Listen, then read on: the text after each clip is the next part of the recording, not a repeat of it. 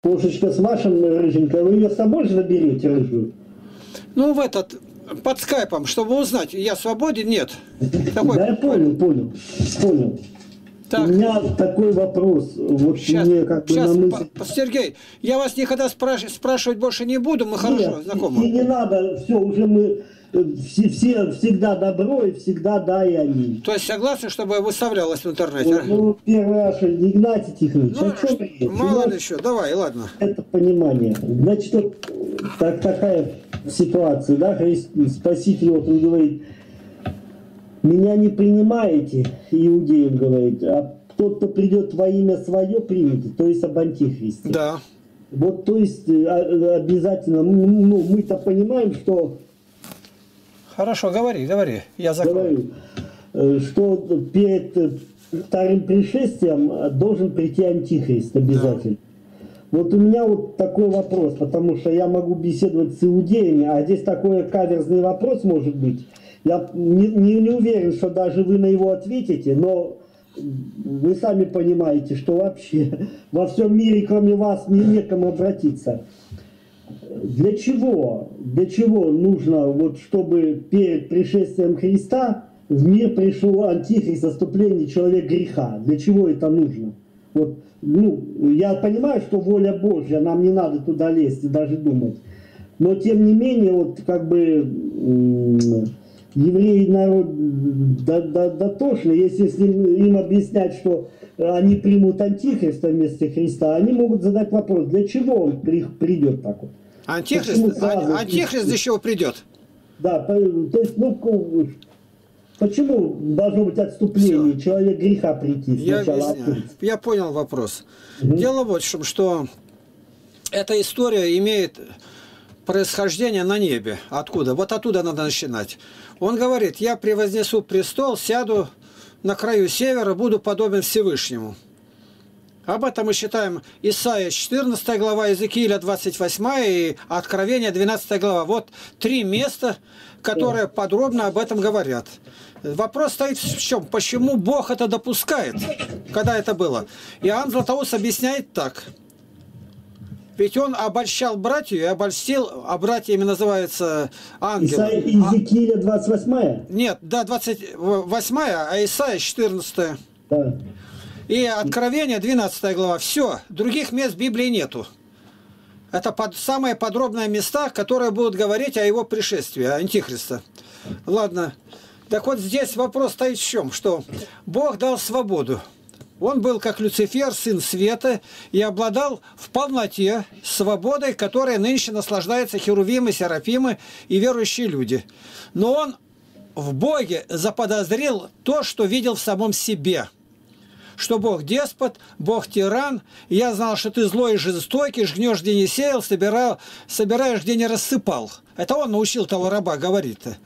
И вот здесь Иоанн Златоуст говорит так. Бог попускает – я тебе даю свободу. Он говорит, как бы да была свобода, я его построил такой рай на земле. Ну а как? Ну вот чтобы из развалин человек умный-умный будет поставить страну на ноги, его будут любить и кричать «Хайль». Пожалуйста, Бог дает.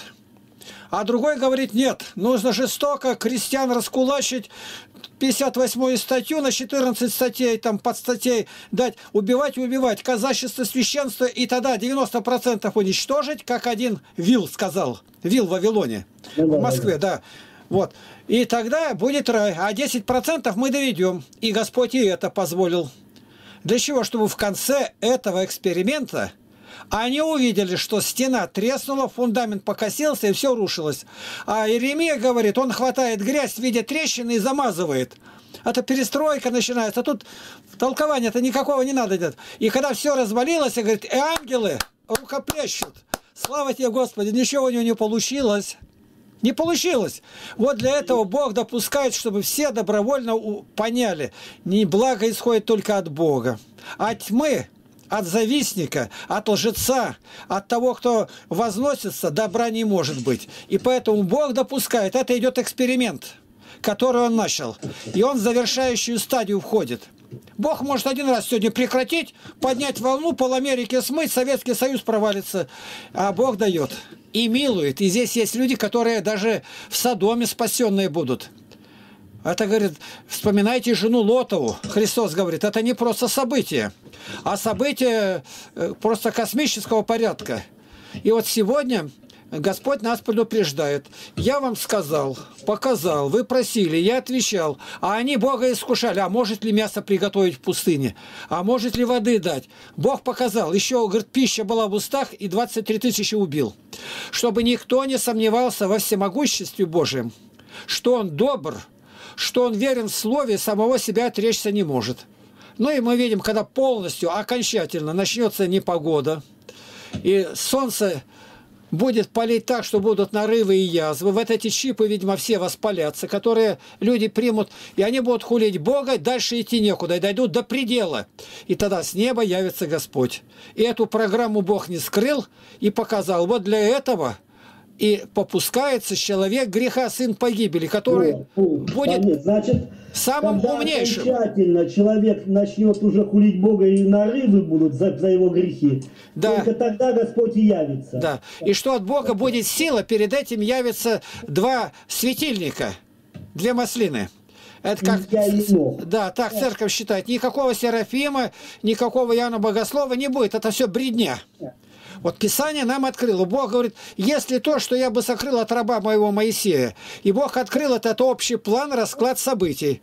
Но и как он будет, какое страшное состояние. Но Бог опять даже в этом милость. Но ради избранных не сократятся. Никакого восхищения церкви не будет до суда страшного. Вот Бог говорит, никакого хилиазма не будет. И когда мы в это всматриваемся, Господь говорит, что я не сделал вам? Лучшую пищу подкладывал. Но иной придет. Я пришел во имя Отца моего, которому поклоняетесь. Во имя Его это делаю. А иной во имя свое сядет как Бог, выдавая себя за Бога. Вы его примете. Вот об этом профессор Осипов и говорит – по всей вероятности, первыми его примут с радостью русские люди православные. Потому что у них царь-искупитель, вот это безумие просто охватило страну. Великодержавники, они уже готовы принять. И он как царь будет, и как по чину Мельхиседека он все сделает. Все. Но есть одно чудо, которое он никогда не сделает. Будет воскрешать мертвых ложно, привидением.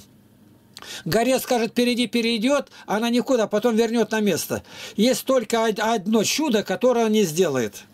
Когда младенцы воспели Богу хвалу, а сан на вышних, благословен грядущий во имя Господне. И там написано, чтобы сделать безмолвным врага и мстителя. У Ефрема Сирина, кажется, считал, и он говорит, это единственное чудо, при котором замолкнет сатана. То есть он не может тронуть неповрежденные сосуды, очевидно, крещенных детей, это не этих, не блудное семя-то. И он этого сделать не сможет, потому что в них греха нету, и он умолкнет. Ну скажи, ты можешь сделать, как вот Христа встречали в Иерусалим? Он сделает его безмолвным, он будет молчать. Врага и мстителя. Вот что даже никогда не подумаешь, какое чудо он не может сделать. Одно – устроить из уст младенцев и сущих, да, да, сотворить тебе, ну, тебе да. хвалу, потому что Господь сотворит, да. а Он будет самовольно, а самовольно Он не может. Не может, все призрачно будет. Хвалу сотворил Господь из уст младенцев и сущих, да. сотворить тебе хвалу. А Он, да, а интересно. Я считал такое, что э, люди, которые много претерпели, ну вот, допустим, первый собор Вселенский и царь Константин, вот его там показывают, какой он тиран был, я ничего не опровергаю, но в нем было движение к Богу. И когда он зашел на собор, э, ослепительном таком одеянии, некоторые святители даже глаза зажмурили – и он подходил, у них, когда их пытали, раскаленный брусок железа и руками вот так зажимали, и они в таком виде остались у них. Так он эти скрюченные пальцы целовал у них. Это не будет делать безбожник. Это царь Константин. Нет, Его... царь Константин, я знаю, что он вот это вот э, не со... Вот это вот как бы, что он святой и верующий, я то, да. тоже верю. Я Другое только про это говорю, что было в нем это чувство, что да ну, это великое дело. Так вот эти люди говорят, что если бы мы были во времена Антихриста, не знаем, устояли бы или нет. Есть такое выражение, что последние мученики, последние будут больше первых. Потому что те муки, которые имели люди, а они кончали жизнь их. А этот будет лечить разными препаратами, поддерживать жизнь и мучить, и мучить будет. И чтобы только человек отрекся, признал его за Бога. Вот три слова Владимира Сергеевича Соловьева, русского философа-идеалиста, об этом говорят, что он сделает все – вот скажет католикам, что надо? Нам надо, чтобы папа обладал всей властью, полнотою. Пожалуйста, все сделает. Патриарх, какой надо православным? Да чтобы у нас мощей, сколько было храмов, пожалуйста, завалитесь мощами. Но, а протестанты, ну, протестантам он относит там Петра, тут Иоанна, а тут Павла. Он так разыгрывает это. А те скажут, что можно было проповедовать везде. Это Пож... трех разговорах, да? Да, да. И он говорит, и это сделает. Но и там, и там, и там найдутся люди, которые скажут, мы тебя примем. Но только признай, что Иисус Христос пришел во имя Отца Небесного и умер за грех людей. Он аж заскрежещет зубами и скажет, вот этого сделать не могу. Я все вам пообещал, но этого никогда не могу сделать. Почему? Он на его место пришел. Он во всем будет подражать ему. Все, и в Вифлееме родится. И от дева, а дева это седьмое колено блуда. Вот почему мы, когда читаем Николай Иванович Бухарин, он узнал, что это такого блуда, и у матери пришел, он хотел быть антихристом, властью обладать-то. Сталин-то их не, не на пустом месте казнил. И он у матери спрашивал, мама, а я от папы или ты меня нажила о блуде? Дурак, просто скажешь ему и все. Это дружок Ленина. Подгонял себя под антихриста, подгонял искусственно. А я этого не знал. А вот это, ну, ну, я попутно сказал, я бы много мог сказать из других, но вопрос отвечен, считаю. Ответили, ответили, ответили, ответили. Ну, я ответ. Я просто недавно купил священник Николай Ким, «Тысячелетнее царство», там о хилиазме. Он рассматривает со всех сторон. Со всех сторон. Там и древних отцов, как они, там ведь разные были точки зрения. Вот и у и блаженно, ну, у Иеремия Леонского, вот у Ефрема Сирина половина так, как вы говорили, а половина считали, что э, за хилиазм. И он вот рассматривает, хорошо, но он православный, придерживается нашей точки зрения. Ну, интересно, фига. Понимаешь, Сергей, тут вот какое дело. Я нахожусь у баптистов в собрание. Мы ходили, посещали их, беседовали. Вот, э, отец-то Геннадий Фаста как пришел? Там обратилась одна грузинка, а мы сказали, ты не уходи. Потом обратилась вот сестра Левтина, вот Фаст, который священник-то это, на ее дочери уже женатый. Мы им говорили, вы пока сидите там, причащайтесь, а сами будьте там.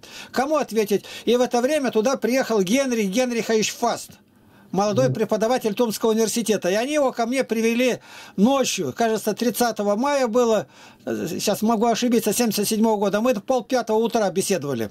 И он полностью принял православие этой ночью. А получилось через кого? Через ту, которая осталась там, грузинка Катерина Девришадзе. И она тоже приняла? Да, она все приняла, она православная. Вот такое дело. Тут надо все благоразумно. Сегодня миссионеры лепятся, а они даже духу не, не знают. Это, это любовь. Это уметь отступить шаг другой назад. Это не, не искание своего, никого не преследовать. Самого лютого врага увидеть, который не слышал, имеется в виду, не слышал, а которые уже знали, причащаются, для таковых нет жертвы за грех, но некое страшное ожидание огня готового пожать противников. Нет, это все, они, может быть, подумали, что, видите что, я думаю так, что с миссионерством что произошло.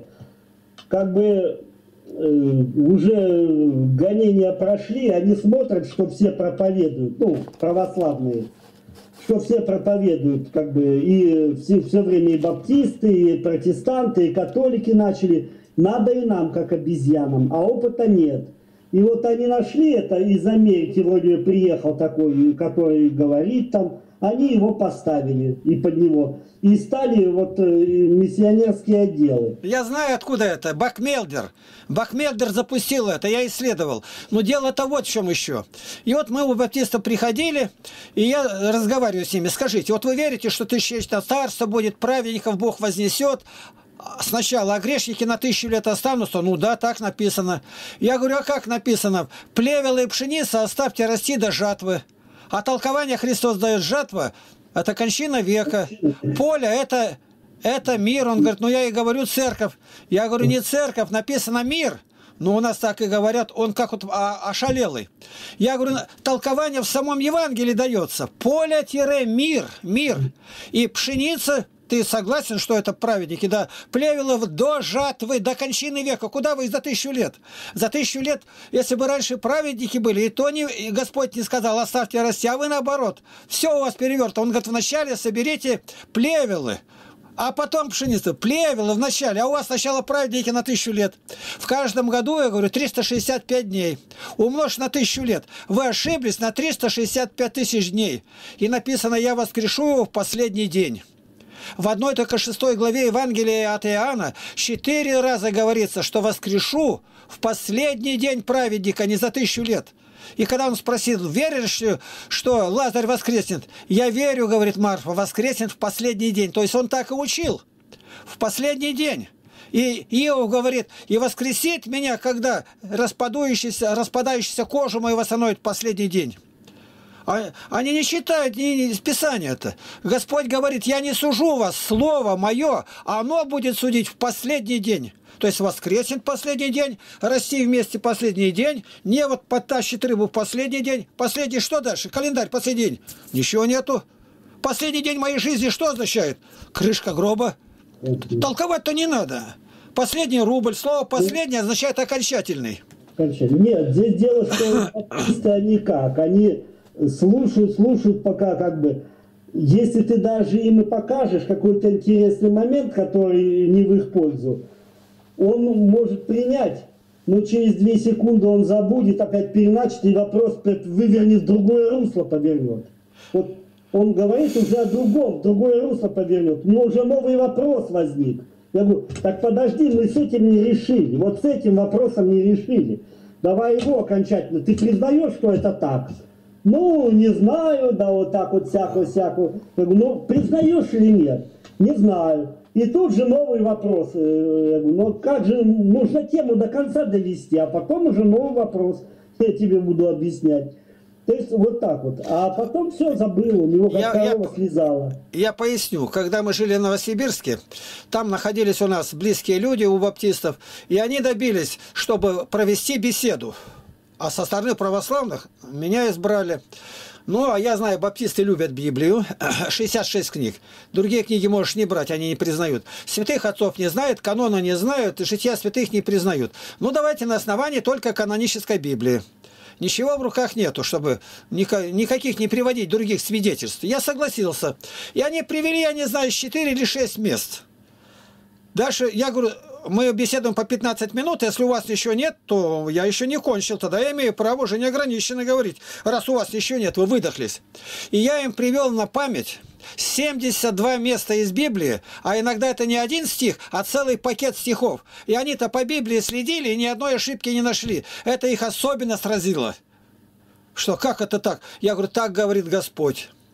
И когда беседовали с ними, вот интересно, притом везде одинаково. Согласны. Вот сидят за столом, допустим, 40 человек, все до одного согласны. Я говорю, а завтра будете не согласны. Вы эти записи никуда не девайте. Все делаем под запись, тетради пишут, на магнитофон. Я говорю, когда беседа будет? Через неделю прихожу, я говорю, ну у вас записи не будет. Как не будет? А ее похитит сатана. Ну, что попало, говорите. Я прихожу, говорю, ну беседовать, да, садимся за стол, покажите записи. В вашем доме у них беседовали. Ищут, нигде ни одной записи нету. Вот ты запомни это. Притом беседовал отдельно, приезжали из других городов. Город Искитим. У, от хозяйки хорошие отношения между нами. И расстались хорошо. Я говорю, вы где-то так положите, чтобы она у вас все время, каждый день на виду была эта запись-то, как вы тетрадку писали-то. Но она у вас исчезнет. Да нет, у нас тут никто не ходит, мы так живем, как... Прихожу в следующий раз беседовать, ни одной строчки найти не могут. У меня был один случай интересный.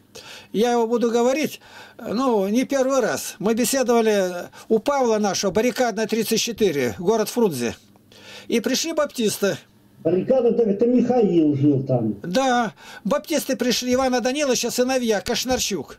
Кошнарчук. Знаю, знаю. Хороший. Данилович, знаю. О, он это, Библии, ну, нам продал там 38 рублей, что ли, Гетце, Гетце, Библия. Гетце, да. Это вот его легкой руки, он в Америку уехал потом. Я знаю, он верно, он умер уже, он умер. А да. ребята живут, да хоть из них один Николай. Николай Иванович. Ну, они там, они там были, они слышали, как я рассказывал о тысячелетием царстве. Ну, прошло мимо. А, как правило, люди еще... Одному я говорю, ты понял? Понял. А почему ты проповедуешь, об этом не говоришь? Да никто не примет. Ты за других не отвечай, ты скажи. Помни Зекииля 3.18. Иначе ты в крови будешь. И вот у них сломалась машина, прошло 25 лет. Они ушли, он остался один. Один там где-то, где застряли. И он, я ходил, размышлял, припомнил эту беседу во Фрунзе-то. Как Игнатий это говорил, и думаю, ба, да так как понятно, тогда жатвы. И он сейчас принял это один, когда там был, семечко, 25 лет в нем лежало, и мне позвонил. Я понимаю теперь, вот как вы говорите. Это правильно. Вот. Я знаю чудеса просто. Великий Бог делает, когда человек не противничает ему. Я, я знаю, Иван Данилович, он много раз же был у нас на, на собрании, там, да. с отцом Владимиром Цветковым, и даже один раз у него дома там проводили. Там, да. А вы там, знаете, ну, вот... даже Надежда Вас... один раз мы собрались, Надежда Васильевна, там сестра была вот эта без прав, без прав, без кисти, я не помню, как ее звали в это, вместе с Надеждой Васильевной вместе приезжала в Бишкек, в, э, не помню, как звали, без кисти, у нее кисти нету одной, циркуляркой отрезала. Ну, наверное, вы помните. А, помню, помню. Это Дудина, это, Валентина. Валентина, Валентина. Я имя забыл. Я ее Валентина, не... Валентина. Вот, монастыре дают отрезок. Да, да. А не дали ей там пилить доски, чтобы помогало. -то. А там сучок дернул в сторону-то, а ей правую руку отпилила. Она кандидат педагогических наук. Ну да. Вот так. И с одной и... рукой осталась, теперь научилась писать, и все. Она жива еще? Сейчас не знаю. Я давно уже не слышу о ней ничего. Ну, вот. ну слава Богу. И вот мы, она, Надежда Васильевна, я, там еще несколько православных приходили к, это, к, Ивану э, Даниловичу, к Ивану Даниловичу домой. Там, а его трагедию знаете, как у них что случилось-то дома? У них сын где-то там, я могу ошибиться немного, кажется, в, в институте. Там какая-то что-то взятки или не знаю о чем, но дело в том, что он это узнал. Узнал и сказал, я буду ну, в Москву жаловаться и то другое. И вот они когда дома были, а он отдыхал, он собирался ехать. И в это время пришел там киргиз какой-то и, и говорит, он дома, дома, нам надо поговорить, я с работы, он едет материалы передать. И мать его разбудила. И он только вышел, он сразу его зарезал прямо здесь. Так вот, представь себе, мать себе простить не может, это жена Ивана Даниловича. Я, говорит, сама его подняла с постели и под нож подставила. Я говорю, ну ты откуда бы знал это? Ну да. Вот какие звери. Звери, звери да. За деньги все. Вот поэтому о чем мы удивляются. Вот за деньги он и родину продают, и все сейчас, вот либералы, кто же, все, все за деньги. Почему враги такие вот? Э? Так вот меня когда судили в 86 году, это было июле месяце, Иван Данилович два раза из Фрунзе прилетал в Барнаул, чтобы присутствовать на нашем, вот когда суд шел, и он на фотографии остался. Какой человек добрый. Спасибо. О, конечно. Он же вот эти Библии, вот, э, ну она у меня хранится как память, я-то пользуюсь своей, это э, 77 книг, вы не подумайте. Но там тоже у Гетца есть интересные вот, мысли, там я читаю иногда. Ну, у него там каталог сделан у Гетца, он многое да. разбивает по, граф, по графам, как бы симфония смысловая. Вот, эти, вот этими Библиями, вот этими Библиями, и к ним пришло вот в тысячелетие крещения Руси, баптистам пришла ну, там целый контейнер на книг. И вот он нашу общину, нашу общину всех э, снабдил вот этими Библиями. Там по 38 рублей, что ли. Вот как бы память осталась. Мы от них туда везли буквально машинами Библии, и все здесь у меня шли они в милицию, в прокуратуру, где я выступал. У нас было чуть не в 10 раз дешевле, которые в церкви продавали. Только на дорогу накладывали, чтобы дорогу оправдать. Нет, ну 38 рублей и 70. Э, в церкви она 70, стоила 70 рублей. Я вот не такая. знаю, но у нас они дешевые-дешевые шли. Ну, там, правда, со второканоническими книгами. Мы брали прямо у них оттуда, где старший пресвитер. Нет, ну, Библия Гетца, она, как сказать, она ведь 66 книг, а это да. 77. Но у нас церкви они всегда были, вот как вот лучшие времена, как я называю, 7, так, по ценам, 70-е, 80-е годы, это не, не, не то, что лучшие, для нас-то мы понимаем, что это самые страшные для православных было. Да. А вот она стоит в церкви, если найдешь, 70 рублей стоила. Я искал вот эту, в свое время, мне отец Владимир потом достал, а я в свое время как искал Библию? Прошел слух, что вот эти Библии появились в Георгиевке. Мы, значит, на всеночную с одной там бабушкой баптисткой, она тоже такая баптистка, но читающая по-славянски и вообще очень любит Бога. Мы вдвоем э, поехали с ней в Георгиевку, чтобы Библии купить. Библии там не, не, не было. Ну, там такой батюшка, Владимир его звали, что ли, он небольшого росточка такой. Там батюшка отец Павел был. Хороший батюшка Павел. Небольшого росточка такой. Ну, я сейчас не могу сказать как, но очень такой доступный. Да, нет, он доступный, он нас домой пригласил. Да, там, да, да, да, да. Такой. Ну, он небольшого росточка такой. Ну, значит, ну наверное, Павел, так и есть. Павел, он нашего Павел. брата Виталия Усинова венчал. Да.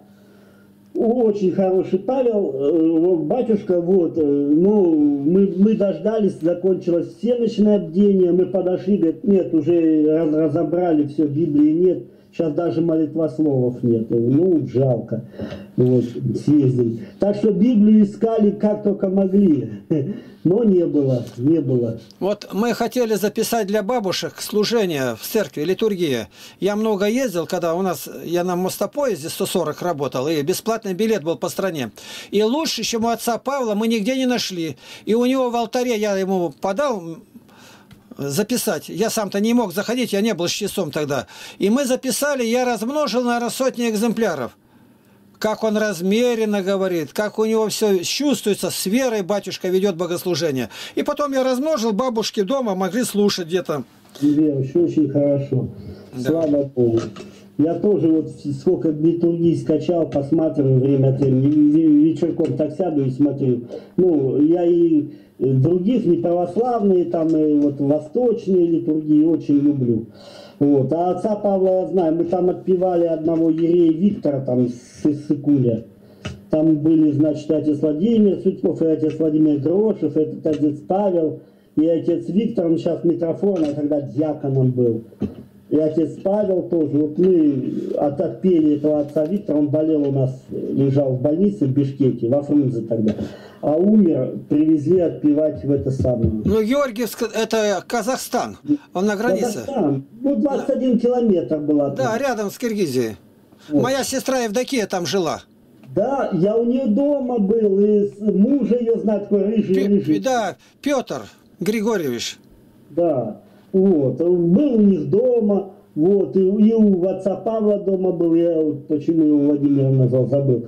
И это, отпевали мы отца Виктора там, э, в этом, в его в храме да. Ну, теперь по Писанию это. Вот когда будете беседовать с кем-то, чтобы определить сектанта, что они церковный, три вопроса. Первый. Иконы для них идолы.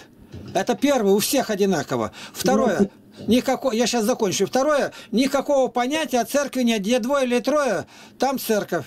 Слово Божие так не учит. И третье тысячелетие царства. Вот три, три позиции, по которым сразу определишь, кто он такой.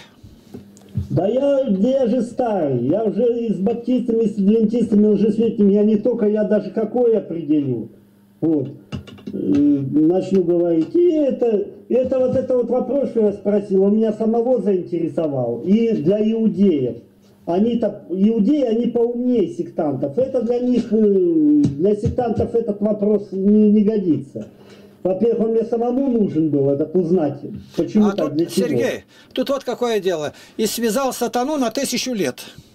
Вот этот стих очень важный. То есть связал и началось тысячелетие. С этим надо добиться. Вы верите, связал на тысячу лет, не так, что связал, прошло сколько-то лет, а потом тысячелетие остался. Нет, говорит, связал, и началось тысячелетие. Раз он связан, это начало... Ну, от, крест, от креста и началось. Да, это а он говорит, что... Крест, Смертью смерть попрал. Это 2.14 к евреям. Как дети причастны плоти и крови, то и он воспринял оное, дабы смертью своей лишить силы, имеющей державу смерти, то есть дьявола. А как? Об этом говорит апостол а, и евангелист Матфей. Как может расхитить вещи, если прежде не свяжет сильного? Не, не свяжет. Я спрашиваю, связывал или нет? Это Матфея, там 12 глава. Я говорю, связал или нет? Если он его не связал, то это был не Христос. 1 Иоанна 3,8. Для того-то явился Сын Божий, чтобы разрушить дело дьявола. Если он его не разрушил, он явился для этого. Тогда его явление было недействительно. 1 Иоанна 3,8. Это очень важно. И к евреям 2,14. Вот эти места основные брать нужно. Как вот, ну, допустим, об иконах, где... Об иконах много не надо брать. Всего три места брать.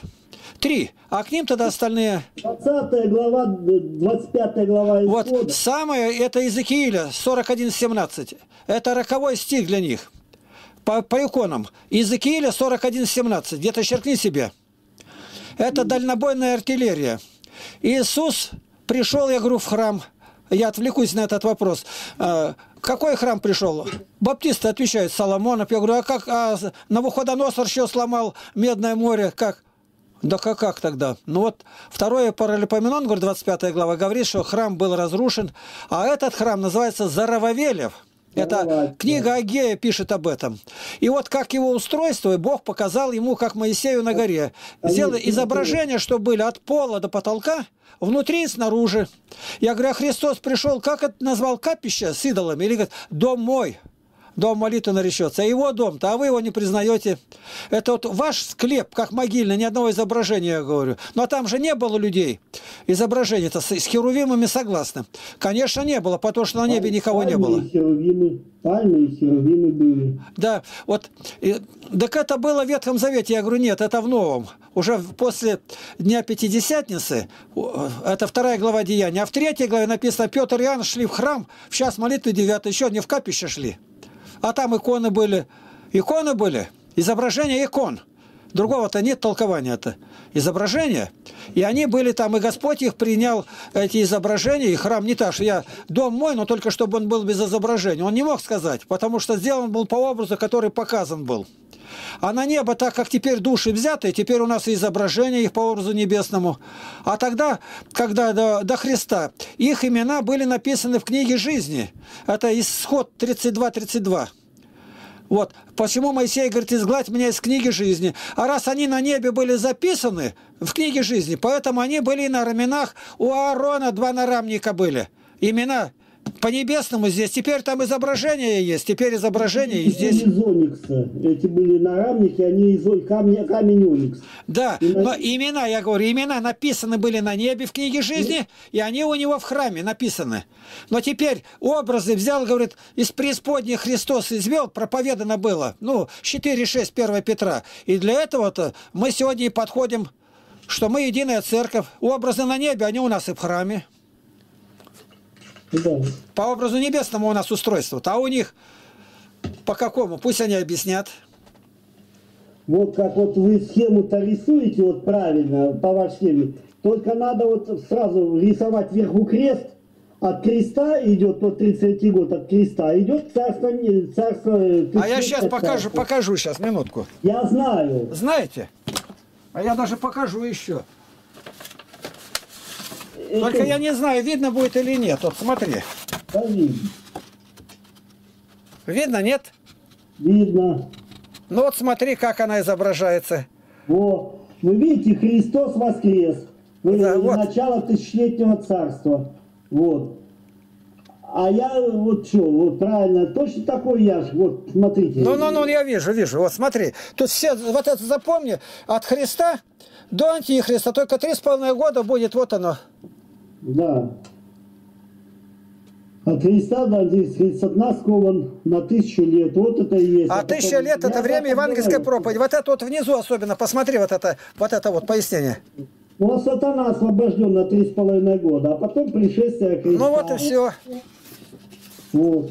Я просто что сказал, советую. Вот мне там написать, вот крест поставить, вот что. От его крестной смерти сразу зашел и сказал ад. Начиная с тысячелетия Да, царства. да. Вот и все. Да. Крест поставить будет понятно, а дальше идет уже это само. Вот. До, до кончины, общее воскресенье когда будет. За три с половиной года только участочек отрезать и все. Да. А иначе, если церкви нету, еще ради избранных дней сократятся-то, еще бы ради. Они были рассчитаны, допустим, на 20 лет, а Господь говорит, три с половиной хватит.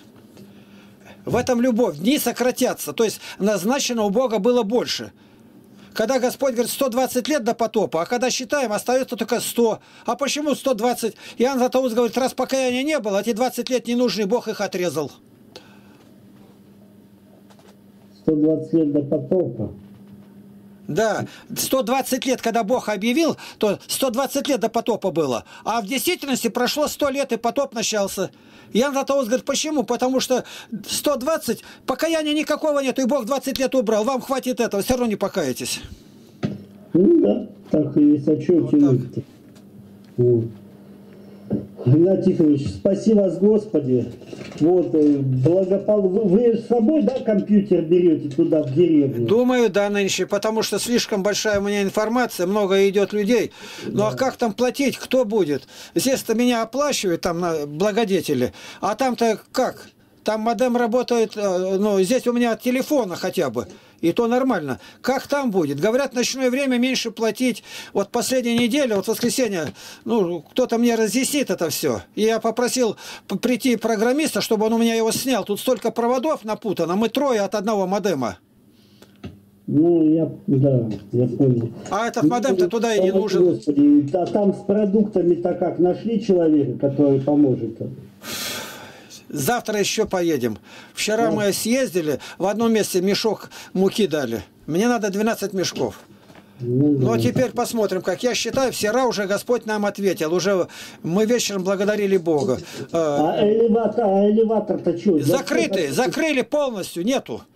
Размонтировали оборудование, все убрали. Я говорю, а как же так? Это же элеватор огромный на Алтайский край, но не Это в одном месте государство этим заниматься. Почему частные руки? Мне вчера сказали в одном месте, говорит, что будто бы они, а сказал бывший, бывший пред этим директор, который был, его, которые последние были арендаторы это помещения, ну как эти строения-то они арендовали из Рубцовска, а они увидели, что нерентабельно. Старое оборудование, надо ставить новое, а новое они в любой день могут повысить стоимость за аренду, и они отошли. У них не один элеватор есть, а этот элеватор будто бы камень на оби берет. Ну и, конечно, будут теперь оформлять, и... потому что да. куда осенью-то урожай-то с Алтайского края-то? Конечно. Это же житница Сибири, Алтайский край-то. Ну, да. Сказали, говорит, Россия будет перерастать Сибирью, а в Сибири житница считается Алтай. Ну да, Алтайский край, это э, республика Алтай, самая южная республика Алтай самая южная Сибирь. Ну, они, Алтай, это там еще другое. У них же вот когда идет график, допустим, у нас 67 районов, и в конце всегда горно-алтайская, у них ничего нету. Горы, горы, горы. Туда едут а... рериховцы, все колдуны туда едут. Там дыра какая-то, связи с космической силой. Понятно. Нет, я Алтай красивый. Я, я не говорю, что я в горы ни, никогда не езжу. Вот. Просто интересно, вот что такое Алтай. Алтай такой большой район там. Вот Кемеровская область, там хоть юг Кемеровской области является Алтаем, по идее, или нет? Нет.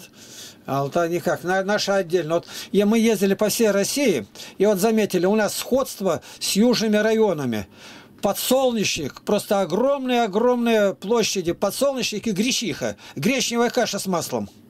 Э, нет, я знаю, что после революции переводах. Э, Алтайский край, Алтай был, он большой, там был Новосибирск был да. Алтайского края. Поэтому Алтай это не только вот Алтай и Республика Алтай, он был за пределами этого. Да он отдельно прилепили, сейчас оно отдельно, отдельная республика отдельно. Там же никакие ни нефтепромыслы, ни ничего нету. И Алтай здесь все у нас есть, все. И пшеница, это, ну, оно орденоносный, кажется, дважды ордена Ленина, что ли, ему давали? И не поэтому же судится, есть, не есть. является Алтаем. По-моему, Алтаем является по, по большому счету и Новосибирская область. Нет, идее, это да. отдельно. Там Новониколаевск был. Ну понятно. Ну а почему после революции он Алтаем считался? Ну Алтай вы выделили отдельно. Он к Томской принадлежал епархии. Ага. К Томской. Да, А вот тут надо посмотреть, какие годы впервые выделили, вот, что она отдельно епархия стала, а вот от Примасендище при Антонии. Ну, это уже сейчас-то в наше время, да, вот Республика Алтай и Алтайский край, это как бы это есть такое дело. Но я-то считаю, что Алтай он в части в Монголии есть. Ну да, тут рядом все.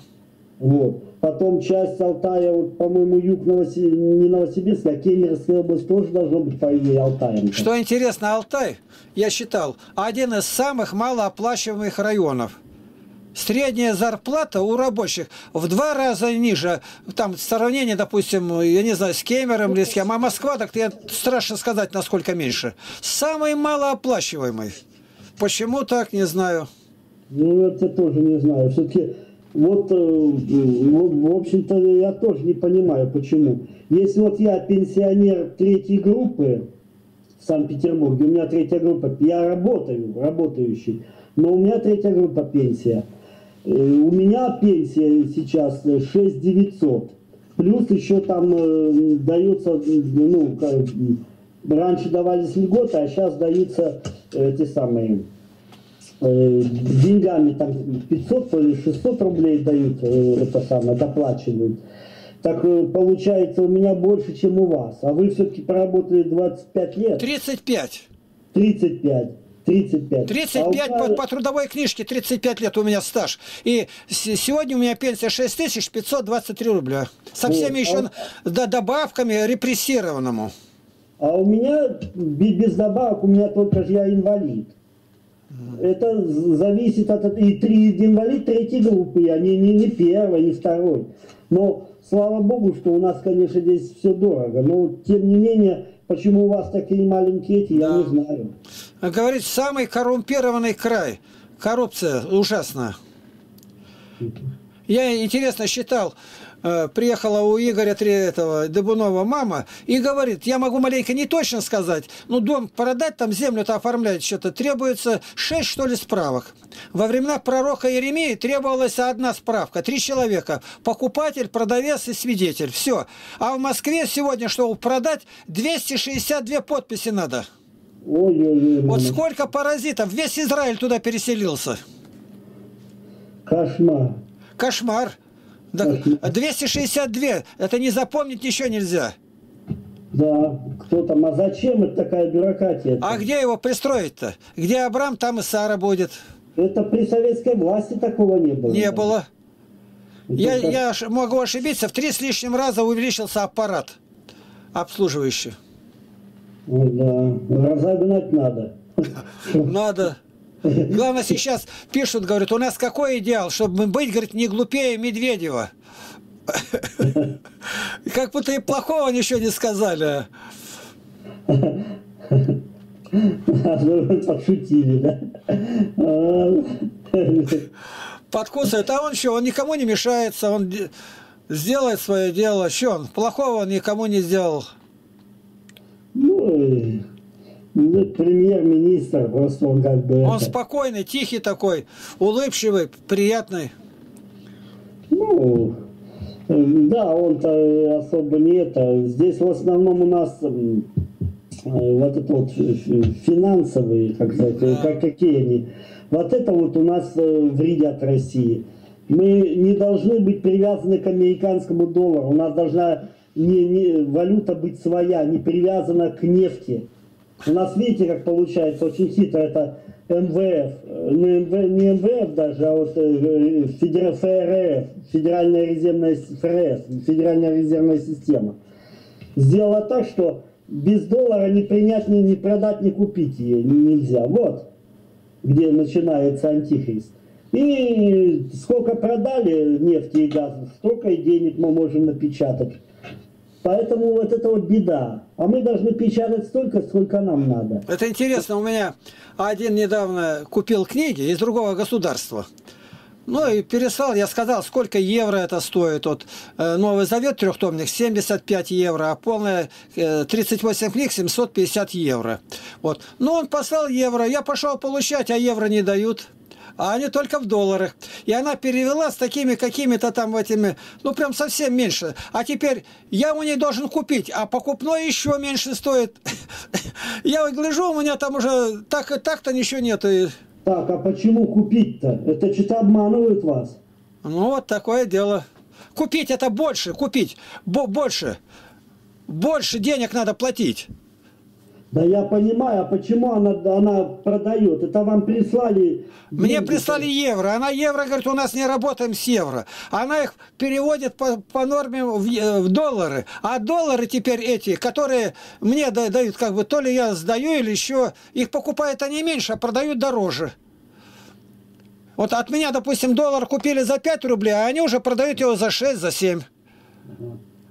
И она меня как будто бы я с доллары я на обмен даю, а дает только в рублях уже.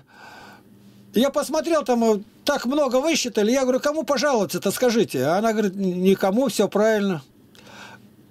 Нет, это обман. Обман, это конечно, нет. обман. А то там, главное, платят, а приходит сюда, один процент денег еще снимает. Я говорю, за что? А за то, что мы работаем. Странно довольно. Я во Фрунзе был, как-то поехал. И она продает билет-то, я вижу, цена не та. Я говорю, а почему такая цена? Ну, наценка. Я говорю, а за что? За то, что билеты продаю. Так это все учтено. Я пошел к милиционеру, написал заявление, а он говорит, только что сняли вчера. Говорит, одну убрала, опять то же самое. И мне деньги вернули. Без, ну, это там, там-то ладно, были лихие 90-е, наверное, а да. в Бишкеке. Там беспредел. Ну, а у вас сейчас что-то вообще... Я до начальницы дошел и ничего не сделал, не мог. Ну, бери, не бери. Я махнул это рукой и пошел. Бандитизм. Ну, вот, жена моя зашла. Ну, иди покажись, надень платок. Приди, приди сейчас. Пока. Вот. Но э, это самое... То, что у вас это беспредел, это бандитизм. У нас такого нет. Я, притом не один раз это уже у меня. Присылает евро. Я говорю, так а вы долларами-то рассчитайтесь. А он говорит, а у нас долларов нету, только евро. Ну вот как хочешь, так и делай. А теперь мне-то главное получить рубли, а я не могу никак. Она бы евро получила и ну, по евро и сдала. Нет, она их переводит сначала в, в доллары, а потом в рубли, как будто бы я покупаю или еще там. При покупке. Нет, это, это обман, это хитрость такая, это Но ну, Я ничего не мог сделать. Я уж ходил и недовольный был, и они видели, что у меня, у меня ничего нету. Ну, что сделаешь? Э, это, это, это, это должны с этим бороться. За это, если написать Путину, там, э, я думаю, что уберут многих. Тут, тут другое дело было. Одно время нашелся у меня хороший помощник и выслал, кажется, 1860, что ли, долларов. Ну, я пошел, а куда их деньги-то? Доллары-то у меня. Я осенью хотел купить, купить шифер, там, в лагере начать строить, и пошел в Центробанк. Центробанк, это по промышленным предприятиям, это мощная организация, Центробанк. Я спросила, я говорю, а вот этот у вас, э, ну, здесь, говорит, нормально, это хорошее, это мы их вроде патронируем. Я говорю, я могу оставить у них деньги-то? чтобы... Ну, зачем они мне дома? И проще, я осенью возьму. Ну, конечно. Я осенью приезжаю, а банка нету. И денег нет? денег нет, и банка нету. Я, я, у меня хороший знакомый был прокурор края, генерал-лейтенант Пороскун. Я к нему ничего, говорит, не могу сделать. Подавайте в суд. Я в суд подал. А у них там Танасов был, э, грек. Я говорю, ты хоть веришь в Бога-то? Да, верю. Я говорю, ну а как же с меня с верующего для ребятишек прислали? Я не знаю, откуда-то с Люксембурга, что ли. И вы у меня отобрали деньги. Судился, судился с ними. И заплатили, я не знаю, четвертую или пятую часть. Остальное не отдали. Нет, ну вот вы напрасно в банк-то положили. Да я, я не положил, я, я не получил их даже. Они через этот банк прислали, а я в руки а. не стал брать даже. Ну, куда я с ними? Ну, если я пошел заручился Центробанком, что я неправильно сделал-то? Нет, это надо было брать дома хранить. Ну, надо было брать. Теперь-то что, русский мужик, говорит, умен задним умом. Задним умом, да. Не, ну, всегда говорят, э, как говорят, если ты хочешь удвоить э, сумму, то ты сложив вдвое э, деньги, положил в внутренний карман. Так удвоишь. А и отдавать то, что отдал, это все. Я не отдавал, я их не получил. Да я понимаю, но это все, на что отдали. Какая ну да. Ну вот так вот, глупость сварганил. Теперь-то, когда я вернулся, их нету, ну и что делать-то? Ну вот, такие вещи. Обманывать. Я перед ними стою, как пугало. Я говорю, ну кого вы обманываете-то? Видно, что на детский лагерь пересланы деньги. Вы из ребятишек берете, сирот. Я же ни одной копейки даже в Америке ездил, не пропил, не проел. Я их страшно обидел. Ни одного мороженого не сел. Рваные носки не могли у меня заменить. Вы маленько-то глядите, кто перед вами стоит, какое щучело огородное. Да нет, у этих людей совести нет. Там вообще, то, что с деньгами связано, у них нет ни милосердия, ни совести, да, ничего. Да, да, да. Ни людей не боятся, ни... Все, это... А если говорят, что Бога верит, то они считают, что Бог должен им только давать, давать, давать, давать. Это страшные люди. Страшные. Ну ладно, Сергей, все уже. Вопросов больше нету? Нет, спаси Господь. Спасибо вам большое. Спаси Христос. С Богом.